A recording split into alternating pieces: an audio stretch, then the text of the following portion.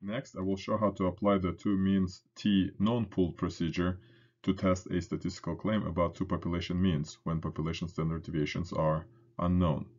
Consider the following example. A group of economists wants to verify the claim that United States workers have the average annual leave less than European Union workers. Two samples of United States and European Union workers were obtained independently and analyzed. The sample of 32 United States workers had the average annual leave of 20.4 days and the standard deviation 8.5 days. The sample of 38 European Union workers had the average annual leave of 24.9 days and the standard deviation 4.3 days. Test the claim at 1% significance level. First, let's note that the sample means are 20.4 days and 24.9 days. The sample standard deviations are 8.5 days and 4.3 days. And the sample sizes are 32 and 38 for United States and European Union workers respectively. Now let's identify the statistical claim that needs to be tested. The claim is that the United States workers' annual leave is less than European Union workers. So we can symbolically express the claim as mu1 is less than mu2, or equivalently as mu1 minus mu2 is less than 0. Since the claim is about the population means and the population standard deviations are unknown, we will use the two means t procedure. But how do we choose whether it is pooled or non-pooled? We use t-pooled procedure when the standard deviations can be assumed equal. Otherwise, we use t non-pooled procedure. To test whether the standard deviations are the same, we set up a two variances f-test with alpha equal to 1%. For convenience, we chose the same alpha as in the problem, but in general it doesn't have to match and depends on the context. The null hypothesis is that the variances are the same. The alternative hypothesis is that the variances are different. Then we use the formula to compute the test statistic f0 and it is equal to 3.908. Then we use technology to find the p-value which is 0.001, and it is less than alpha, which is 1%. The conclusion is that we do have sufficient evidence to reject the null hypothesis. Therefore, we will believe that the variances are not the same and choose the non-pooled procedure.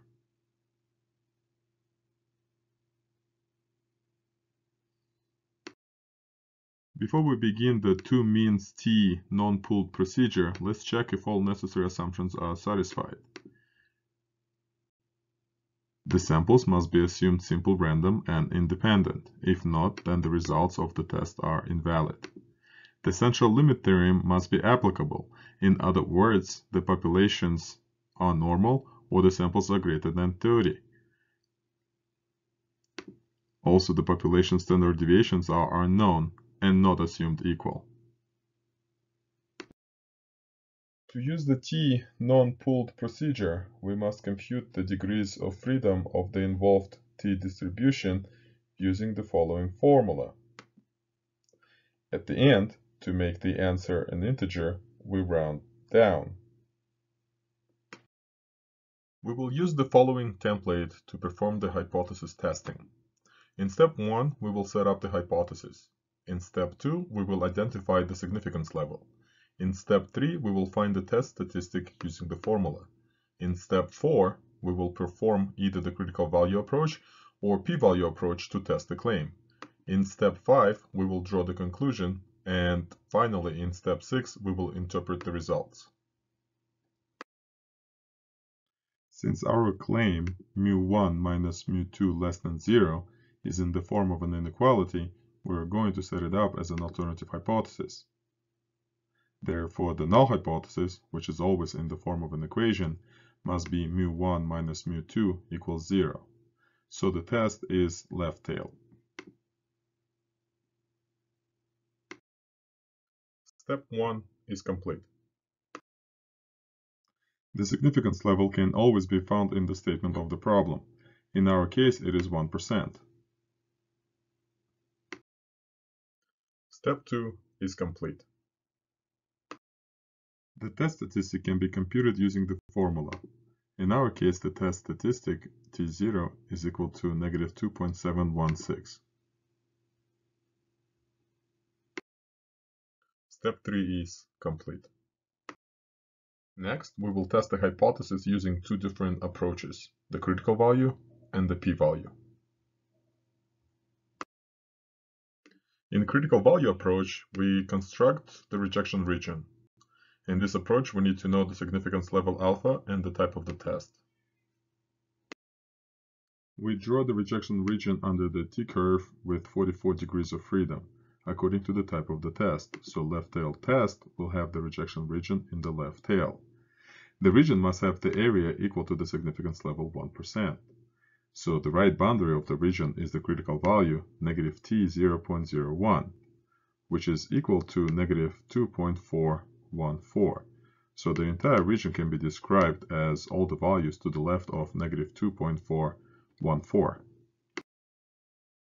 In p-value approach, we compute the p-value. In this approach, we need to know the test statistic and the type of the test. We find the p-value using the t-curve with 44 degrees of freedom, according to the type of the test. So in a left-tail test, the p-value is the area to the left of the test statistic, in this case to the left of negative 2.716. Symbolically, it can be expressed as the probability of t being less than negative 2.716, which is equal to 0.0047.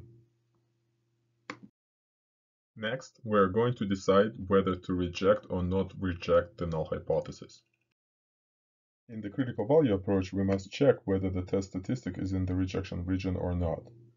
Our test statistic is negative 2.716, and it is to the left of negative 2.414, thus it is in the rejection region.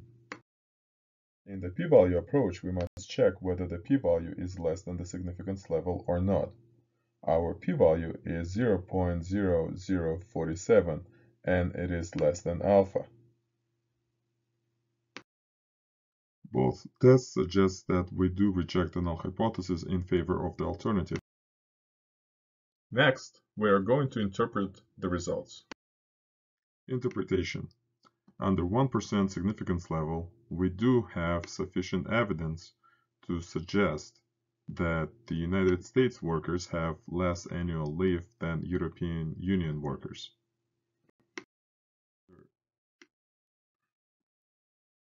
I just showed how to apply the two means t non-pooled procedure to test a statistical claim about two population means when the population standard deviations are unknown and assumed not equal.